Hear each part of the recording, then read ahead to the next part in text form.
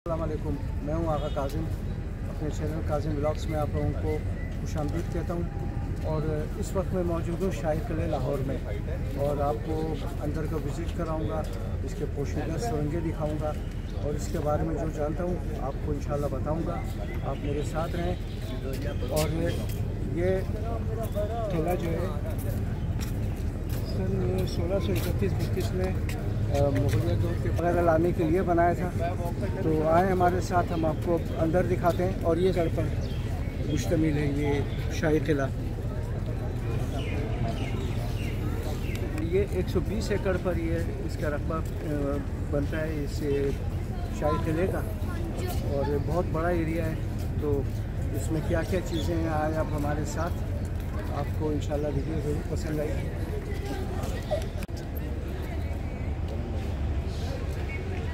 ये पुराने दौर के जो नक्श नगार थे इस, इसकी दीवारों पे तो आप देख सकते हैं कि अभी तक वो कायम दायम है।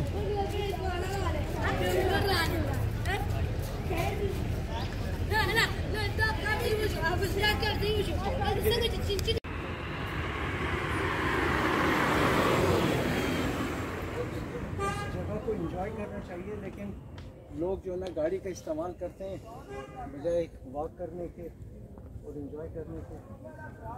अपनी अपनी सोच और ये दिखाएँ हमारा कैमरा मैन इसकी दीवारों को कि पुराने मुगलिया दौर का ये शाही किला।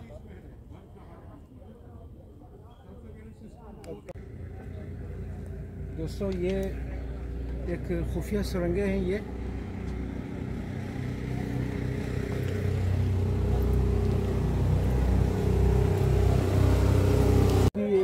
खुफिया रास्ते हैं दोस्तों मुगलिया दौर के।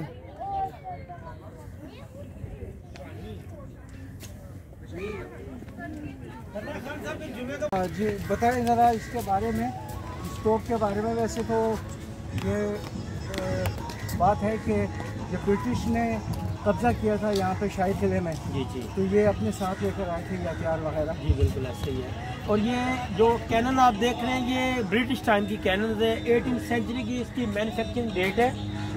और ये आके दिखाएँगे इनको। ये इसकी डेट वगैरह ये लिखी हुई है। सन 1800 की बनी हुई है और 1950 में गवर्नमेंट ने इसे यहाँ पे फिक्स कर दिया था। अच्छा 1950 में? और ये इंग्लैंड का मोनो भी आज भी इसके ऊपर आप देख सकते हैं। ये इंग्लैंड का मोनो है दोस्तों। आप देख सकते हैं इसके स्टोव पर जो अंग्रेज़ अपने साथ लेकर आए थे। लेकिन साथ लेके नहीं गए, फिर गवर्नमेंट ने इसे यहाँ पे नस्ब कर दिया। अब भी आपके सामने जो बिल्डिंग है, वो दीवाने आम आ गए अब हम शाही किले की सबसे पहली बिल्डिंग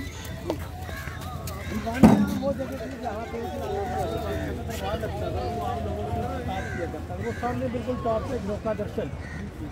जहाँ पे वो बादशाह सलामत अपने तख्त पे बैठते थे। और आम आवाम जो होती थी इसके बरामदे में सेल में नीचे होती थी। और आम आवाम अपने मसलन साइंस के हल के लिए जो आते थे वो नीचे वाले गेट से आते थे।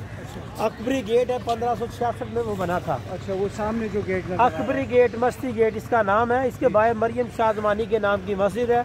और मस्जिदी गेट से बिगड़ा हुआ है इसका नाम मस्ती गेट मस्ती गेट। तो अब यहाँ से आम लोग अपने मसले साइंस के हल्के यहाँ पे आते थे सलामत उनके जो भी मसलन फ़ाइल होते थे उन्हें वो सुनते थे और आम आवाम यहीं से फिर वापस चले जाते थे। क्योंकि इस दीवाने आम के बाद सारा आगे उनका रिहायशी एरिया शुरू हो जाता है। इसकी छत रियल नहीं है दीवाने आम की। अच्छा नहीं ये तो दोबारा बनाई इसकी जो रियल छत थी हाँ। वो सिख वॉर में गोलाबारी में तबाह हो गई थी इसे गौरव ने दोबारा से रिबिल्ड किया। अच्छा। उन्होंने ये आयरन राल लगाए कर्डन लगाए दीवारें बनाई वॉर में। ये दोस्तों दीवाने आम है। और मिलिट्री हॉस्पिटल बना दिया गया था यहाँ पे। इसको। अच्छा। अब इस साइड पे हम थोड़ा सा चलते हैं। ये पिलर्स की तरफ़ आप देखें। जी। ये एरिया तो शहर राजस्थान जयपुर से ये मार्बल आता था। रेड स्टोन जी जी जी। तो जयपुर लाहौर से कितना दूर है? कि दो मार्च पंद्रह दिन हाथी पे वहाँ से यहाँ आने में टाइम लग जाएगा जो मार्बल हाथी वहाँ से लाहौर लाते थे। जयपुर से ये सारा मार्बल आता है। ये रेड स्टोन इस रेड स्टोन से इनको नहीं। दिखाएँ। रेड स्टोन जो है ना जी।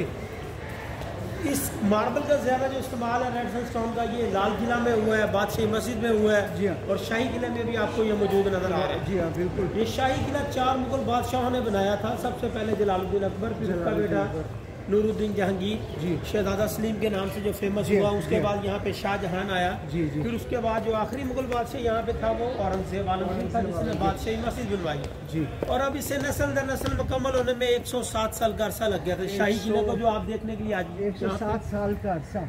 बहुत लंबा अरसा था ये। बहुत लंबा अरसा था। नस्लें जो है ना वो ख़त्म हो गई। बिल्कुल। अच्छा। और फिर यहाँ पे 70 99 से 80 39 तक सिख रूलर आया जिसका नाम था महाराजा रंजीत सिंह। महाराजा रंजीत सिंह। तो उसने भी यहाँ पे 40 साल कब्जा किया हुकूमत की और बड़ा कामयाब हुक्मरान रहा वो भी पंजाब में अच्छा ये आगे आपको जितनी बिल्डिंग्स बनी हुई नज़र आ रही हैं वो सारा शहजादा सलीम के दौर में तामीरात हुई है। उसका आगाज़ तो उनका शाही मेहमान खानों का जलालुद्दीन अकबर के टाइम में हुआ था, लेकिन उसने मुकम्मल जहांगीर ने किया। उस लाइन में जितने कमरे हैं और इस लाइन में जितने कमरे हैं? ये शाही मेहमान खाने थे और ये शाही मेहमान खाने जैसे ऊपर है, वैसे नीचे। आप ज़मीन पर गौर करें साथ साथ में वेंटिलेशन के लिए आपको रोशनदान दिखाई देंगे ज़मीन पे।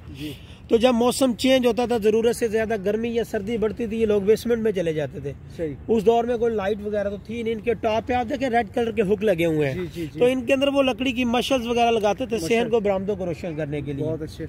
अब ये आपके बैक साइड पे एक बिल्डिंग देखें ये डबल स्टोरी बिल्डिंग हाँ ये दीवाने आम की बिल्कुल बैक साइड पे जोधा अकबर का ये महल है। जोधा अकबर। इसी जोधा अकबर का जो दूसरा महल है वो इंडिया में फतेहपुर सिकरी में है वो जरा अच्छी हालत में मौजूद है। जी, जी। ये अब एक हिस्सा इसका बचा हो तीन हिस्से ये डिमोलिश हो चुके हैं हो गए बिल्कुल ये आप दिखा सकते ये बुनियादें आज भी ये जो है ना बुनियादें जो है ना ये डिमोलिश हो गई अकबरी महल की मौजूद है। हाँ। आपने एक मुहावरा सुना होगा की खड़क सिंह के खड़कने से खड़कती है खिड़कियाँ? जी हाँ। और खिड़कियों के खड़कने से खड़कता है खड़क सिंह। खड़क सिंह। खड़क सिंह था कौन? ये सिख रूलर महाराजा रंजीत सिंह का बड़ा बेटा था और खड़क सिंह ने वो टॉप पे अपने लिए हवेली बनवाई थी। जी जी जी। वो ऊपर वाली जो बिल्डिंग है वो सिख टाइम की बिल्डिंग है। ठीक। अब ये हम इसी चलते हैं। आता है जहांगीरी। इसके सेंटर में एक डांसिंग प्लेस हुआ करता था और वो दरमियान में बड़ी बिल्डिंग है उस जहांगीर का स्लीपिंग चैम्बर होता था। अब ये हम उस स्लीपिंग चैम्बर के अंदर ही जा रहे हैं। ये डांसिंग प्लेस है बिल्कुल सेंटर में। ये सेंटर में जो है ये सफ़ेद अच्छा ये अब इसे यहाँ- आप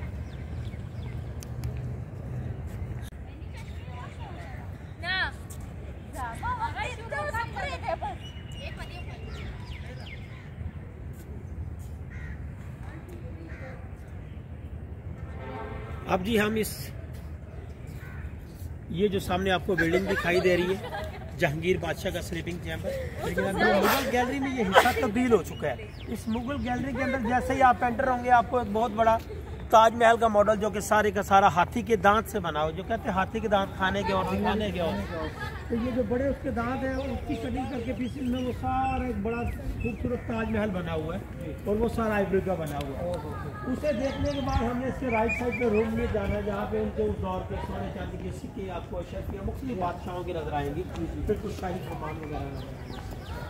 ये से दरवाज़ा ये उन्नीसवीं सेंचुरी के आगाज़ के दरवाजे वाली सरगोदा से लाए गए थे as a decoration piece fix उनके पीछे दीवारें कमरे वगैरह नहीं थी और ये मुगल में हम एंटर हो रहे हैं जी वक्त ये- बिल्कुल सामने ताजमहल का मॉडल है हाथी के नाम से बना हुआ। और टेम्परेचर बिल्कुल चेंज हो गया था। है इसके फ्रंट सूरत यासीन लिखी हुई इसके बड़े दरवाजे में आर्च में अंदर देखो बिल्कुल मुमताज़ का मज़ार भी वैसी कॉपी। अच्छा अच्छा अच्छा। बहुत अच्छा। अब इस साइड पे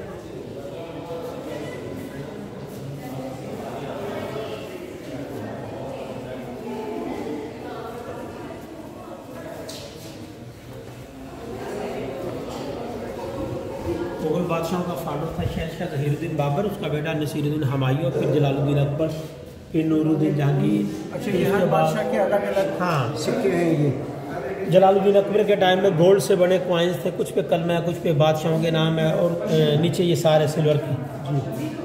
इस करेंसी को उस दौर में अच्छा शर्फियाँ बोला ये जाता ये नूर- नूरुद्दीन जहांगीर। शहजादा सलीम और शेखू भी इसी का नाम था। अच्छा शेखू भी हाँ, जिसके नाम से फिर शेखू पूरा शहर बना हुआ। वहाँ पे उसके हरम और हरम मिलाद की याद में बनाया गया।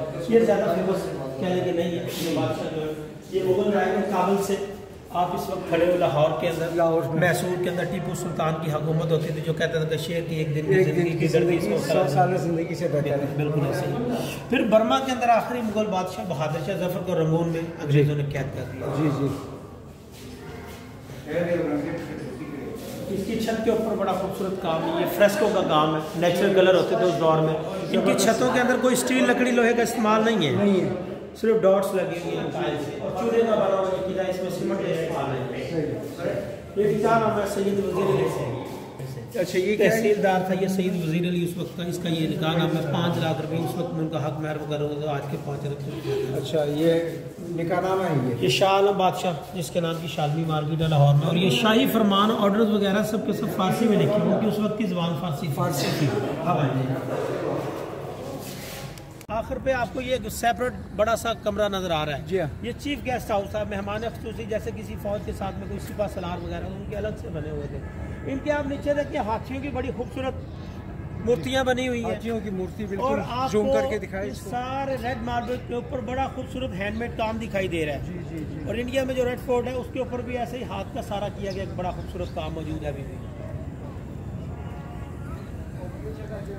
अब ये जैसे आप गेस्ट हाउस ऊपर देख रहे हैं वैसे ही मैंने बताया था इसके नीचे। है और इसमें नीचे जाने के ये स्टेयर है ये कुसरुंगे वगैरह नहीं है। ये बेसमेंट में तय खानों में जाने की सीढ़ियाँ ये रास्ते हैं। ये खुफिया रास्ते हैं। जब मौसम नहीं जब मौसम चेंज होता था ज़रूरत से ज़्यादा सर्दी या गर्मी बढ़ती थी वो लोग यहीं से सीढ़ियों से नीचे चले जाते थे।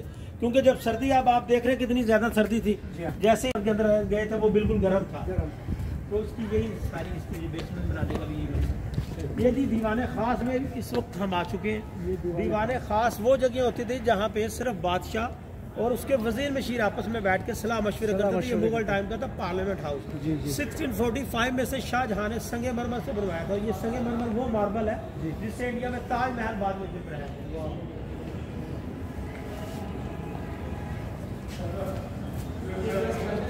ये वाइट मार्बल ये सारा वाइट मार्बल संगे मरमर है। इनकी आप छतों के ऊपर गौर करेंगे इनकी स्लैब्स के अंदर आपको किसी किस्म के कील कांटे का कोई इस्तेमाल नहीं नज़र आएगा। हाँ बिल्कुल नहीं। और इसके अंदर अगर आप देखते हैं तो बड़ा एक खूबसूरत फुहार है। है इसके अंदर सारा जी पेड्रा ड्यूरा वर्क का काम था। पेड्रा ड्यूरा वर्क होता था कार्विंग करते थे वाइट मार्बल के अंदर। फिर वो स्टोन जो आज भी हम रिंग्स में यूज़ करते हैं नीलम हकी फ्लोरा वगैरह वो इनके अंदर फिक्स किए जाते थे वो यहाँ से पुल अप हो चुके हैं। अब इस विंडो से अगर आप बाहर की तरफ़ दीवाने खास।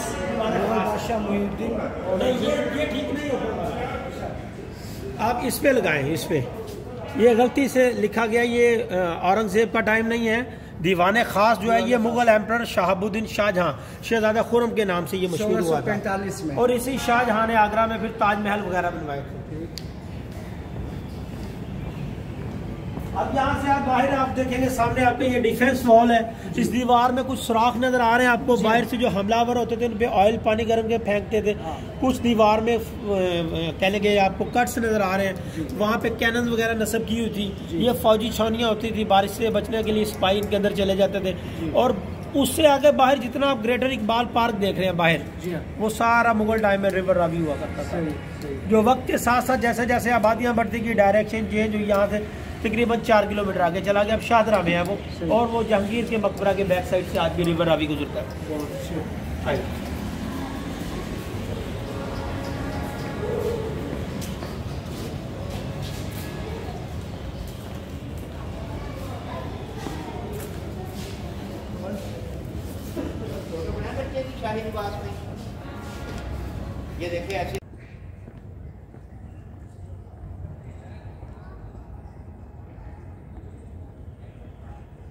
आगे स्लीपिंग चैम्बर से? ये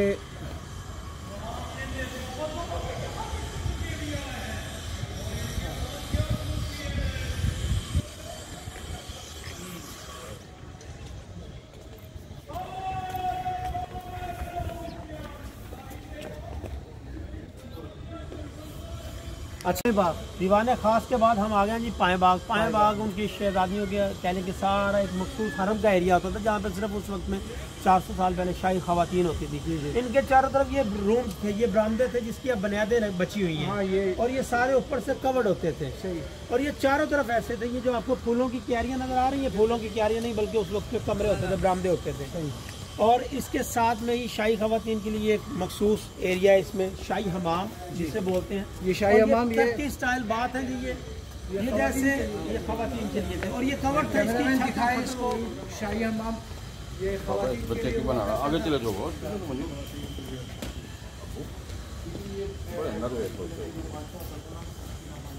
अच्छा ये टर्किश स्टाइल बात है ये जकूजी बनी हुई है। इसी तरह के हौज आपको इसके मजीद अंदर जाके नज़र आएँगे। इसमें एक सेंटर में वो निशान है वो पानी का फुवारा वो यहाँ से निकल चुका है। तो इसी तरह के हौज इसके अंदर किसी में ठंडा पानी किसी में गर्म नीम गर्म स्टीम बात वगैरह और ये सारे कवर्ड होते थे ऐसे ऊपर नहीं था ये। इसकी छत अब खत्म हो चुकी है। इसमें जो पानी का सिस्टम होता था वो दीवार में मट्टी का पाइप है। मट्टी का पाइप मट्टी के पाइप की वायर छतों पे इनके वाटर टैंक होते हैं जहाँ से सारी पानी सप्लाई होती। है अच्छा ये हमाम का आप नज़दीक से दिखाए हमारे व्यूवर्स को ये पब्लिक मिसयूज की वजह से मस्जिद इसके अंदर नहीं जाने देते लोगों को ना? जी हाँ जी हाँ। ये हमाम होता था जनाना हमाम।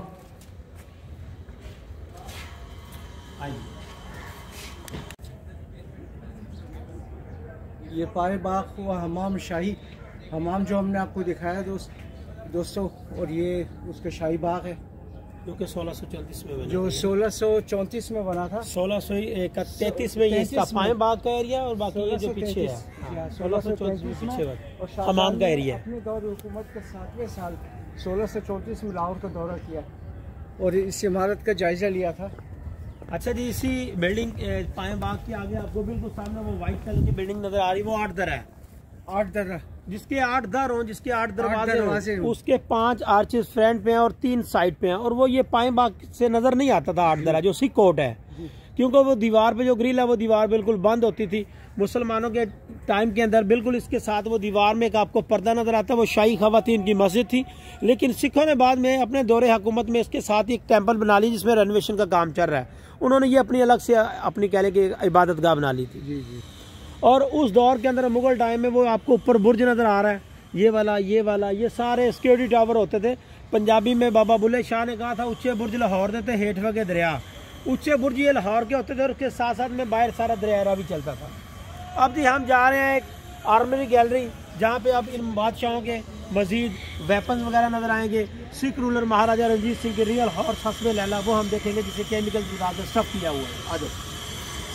अपनी गैलरी से पहले हम इस बिल्डिंग में जा रहे हैं गुजर रहे हैं। ये है ख्वाबगाह शाहजहानी ये शाहजहां का स्लीपिंग चैम्बर है। अच्छा। मुगल बादशाह काबल से आए थे कैंप्स में ये लोग रहने के आदि थे। जी जी। तो उन्होंने बिल्डिंग में आप देखें दरवाजे नहीं है ऊपर रिंग लगे हुए हैं। इन्होंने ईरानी पर्दों के साथ सारी पार्टीशन की हुई थी बिल्डिंग की। इनकी छतों के अंदर आपको किसी किस्म के स्टील का लकड़ी का इस्तेमाल नहीं नज़र आएगा सिर्फ़ घूमती हुई टाइल्स आपको दिखाई देंगी उस दौर में। और ये पूरा शाही किला उस वक्त में वाइट और ब्राउन कसूरी चूने से बना था और चूने के अंदर वो ज़्यादातर सन रोड मार्बल पाउडर वगैरह इन चीज़ों को और माश की दाल का ज़्यादातर इस्तेमाल किया करते थे बहुत अच्छे बहुत अच्छे। इनके डोर्स वगैरह आप देखें फ़ोटो फ्रेम के लिए लाइन में बनाए जाते थे इसमें एक बड़ा खूबसूरत फुहारा जो है, इसमें जोड़ कोई नहीं है। है। और इसके बिल्कुल सामने विंडो के ऊपर शाहजहां के क्राउन का डिज़ाइन है। और विंडो जो ज़्यादातर है वो हनी नोट की कॉपी की गई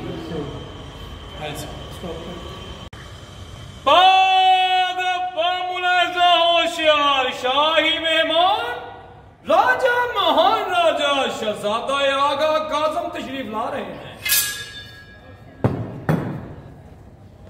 खुश आमदीद शहजादे आदाब जहे नसीब जहे नसीब खुश आमदीद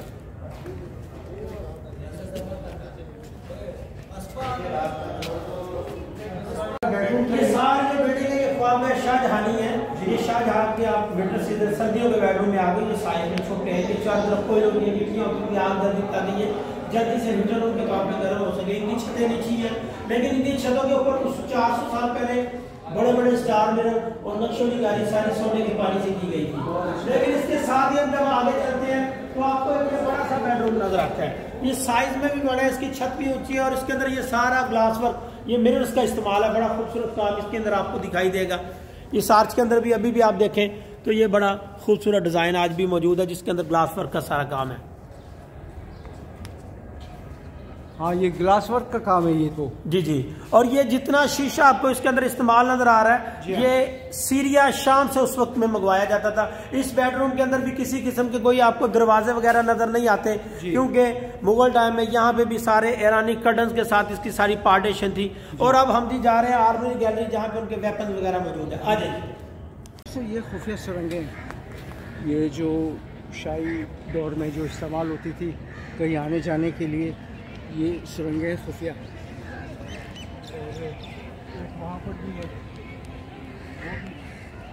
खुफिया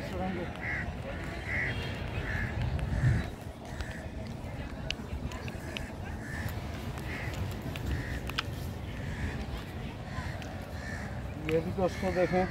ये खुफिया सुरंग है।